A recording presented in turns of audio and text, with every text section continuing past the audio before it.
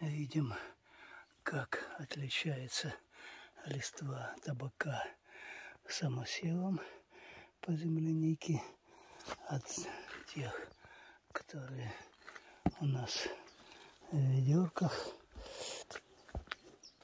И если самосевом жирная зеленая лотва, то в ведерках листья вот такие синие. И это от того, что я поэкспериментировал с большим добавлением кофе из питого. Так что кислые почвы табак, как видим, не любит. На этой яблоне тоже привиты два сорта.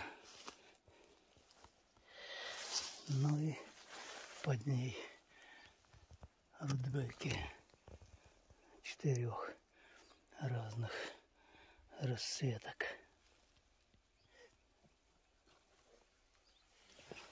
Даже пяти.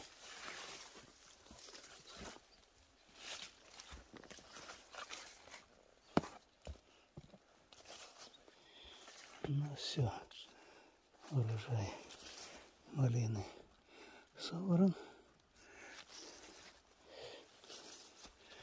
Можно идти на завтрак. Ну и вот здесь у нас растет один лопух, и его листья отвлекают вредителей от наших культурных растений. Поэтому мы пару кустов лопухов держим специально для отвлечения внимания вредителей именно на них. Вот. Перцы тоже уже отходят в пятилитровых ведерках.